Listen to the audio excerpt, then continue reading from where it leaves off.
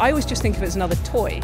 Somebody's handed me an amazing toy. And if you hand a child a toy, generally speaking, I've noticed the first thing they do with it is not what it said on the box.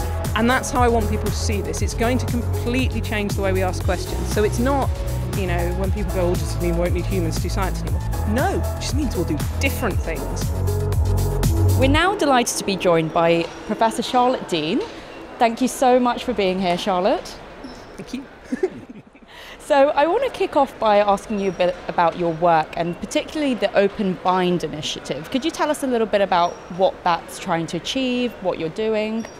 I work in the area of trying to use AI to improve drug discovery is kind of the it's always my shorthand for trying to describe my research work.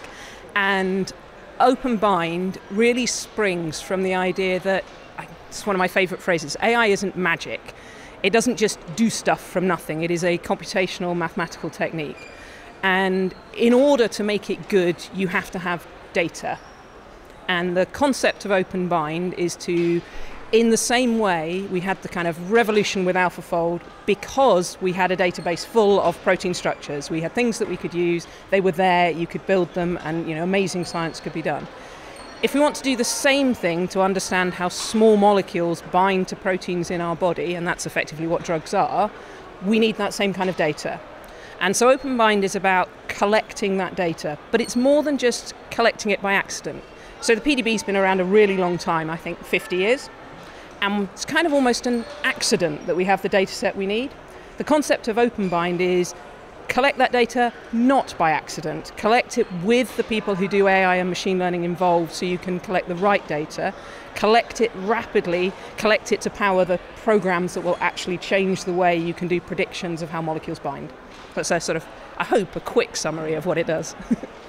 yeah, I guess I guess moving on from that, I guess is this, I guess this is trying to rival maybe what exists in sort of pharmaceutical companies where they have latent databases of their own structures with their own drug molecules that aren't available to the public. Is this a, trying to rival that in some way?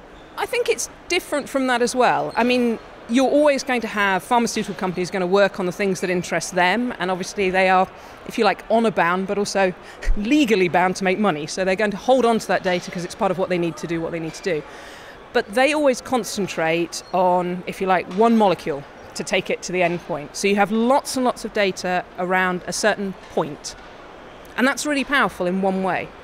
But if you want to understand binding in a much more general sense, I don't actually want what's in the pharma. I mean, I'd love them to give it away, just to be honest. but what we really need is a much more general data set. You want coverage of the space. You want to try and identify what you don't know, where the models are failing, and generate data there, which right now might not be useful for a particular molecule you're trying to take to market, but in the end makes a much better model. So it's about the diversity of the data and the types of data and what you collect. Yeah, a more generalized sense of what makes something bind to a particular pocket yeah. on a particular protein and what are the rules for that so we can predict them. Yeah, so thinking much, much more generally about the problem. And you can't eh, all and I guess this is one of the reasons why OpenBind can be set up like it is as a kind of you know it's a public consortium. We're going to try and make all the data open, but have companies involved and sponsoring and as part of that, because you can see it as a pre-competitive step for them. Yes. Yes generate this data, it helps all of them. But for each of them, they're working on a specific molecule where they will probably generate data that, though I would love to see, I will never see, that will help them be really good at the drugs they're most interested in that they're trying to take to market in particular ways. If you pull out a little bit, it's an interesting conundrum all round, isn't it? Because you say quite rightly that AI is not a magic trick, not a magic box, and we need data and we need large sets of uh, data. But then you were saying the, the people who make money out of this, it's not necessarily in their interest to generate the data sets. So how do how do the data sets get generated more general if we need bigger data sets, but there isn't a financial return for the data set? So I think this is that whole. There's always been this conundrum when you're working on problems that are close to the edge of what can be used commercially, but it's also what public science is for. You know, um, I'll use AlphaFold as an example again because it's easy and because I've been thinking about it a lot recently. But no one company was ever going to create the data bank of protein structures. Right. But governments around the world have funded researchers to get protein structures. And they've done that because we all want better medicines. We all want a better understanding of our biology. We all think that that's really important.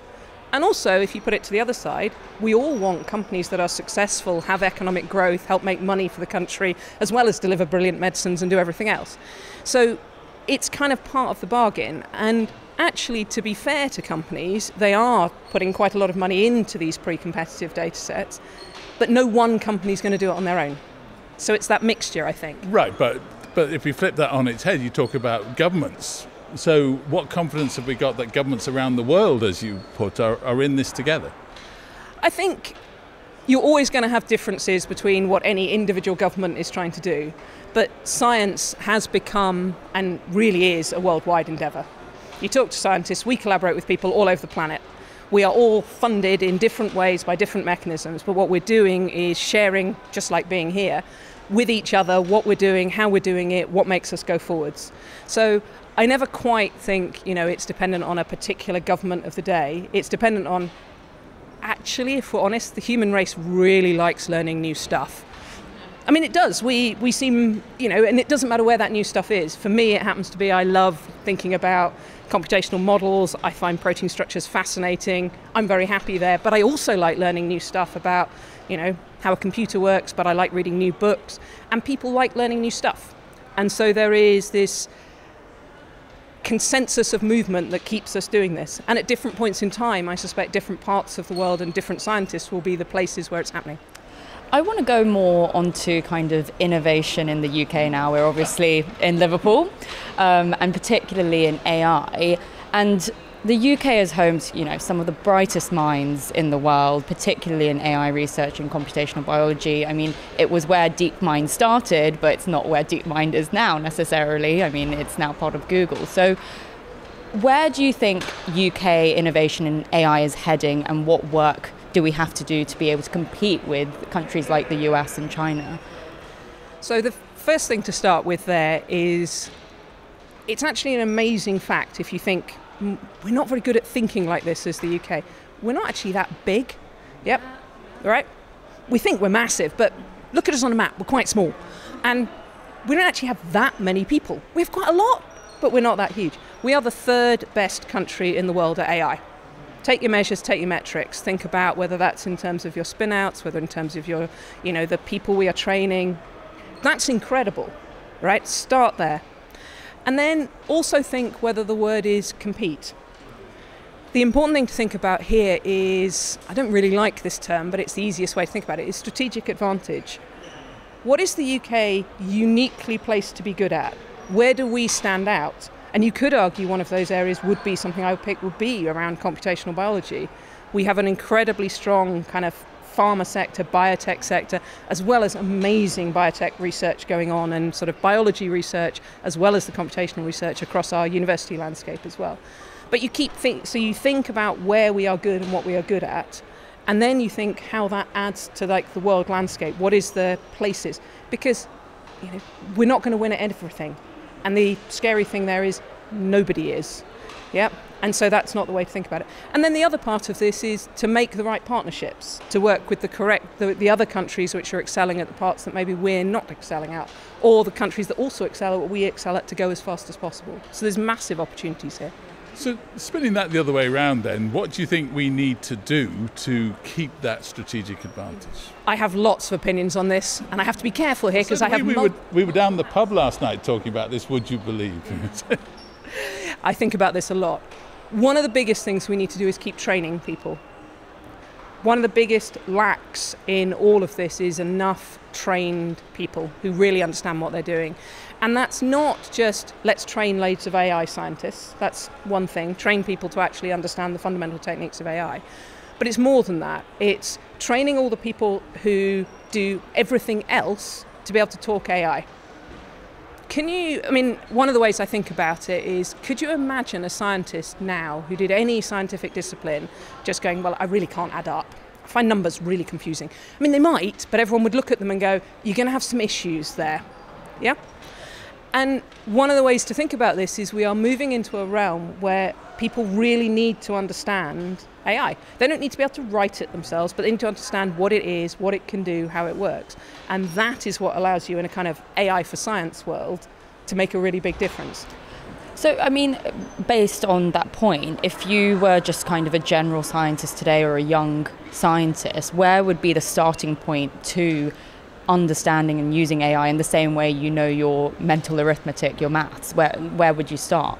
So, uh, you start the same place you start with everything for learning, I think. There's go and read about it. Always just go and read stuff. We live in an amazing age where you can find lots of stuff to read. The second thing is go and immerse yourself in it somewhere. I was talking to someone actually over breakfast, and we were talking about one of the things that's really important to do in science is to go and sit somewhere that's a bit uncomfortable for you. Go and sit through a talk you don't understand. Go and ask questions about that. Go and talk to people about it because for every discipline, there'll be different people who can help you to learn this, but there are people so go and listen to them speak, find out what they're saying about it, find out what they're referencing, and that's the place to begin. Um, because actually, you know, it's just about learning. You can learn it. It's not impossible. It's there. And then going alongside that, it's the make yourself a bit uncomfortable. I do this all the time. And then the second one is don't be afraid. Yep. I think in some ways we've turned AI into a scary thing we've kind of made it, oh, it's really complicated, so you need to be really good at. And it's actually, no, it's not that scary. It is just a computational mathematical technique. It's amazing, you know, it does incredible things.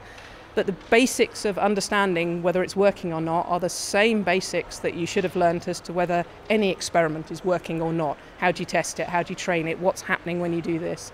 Do you believe those results? Do they look weird? Yep. And all of those are the same. So I, for me, a lot of it is just trust yourself, don't be afraid, and go make yourself a bit uncomfortable to find out more. So when AI is sort of brought into the sort of everyday lives of scientists, um, I guess you're you're really kind of pointing out the fact that we'll still need to be present to intuit.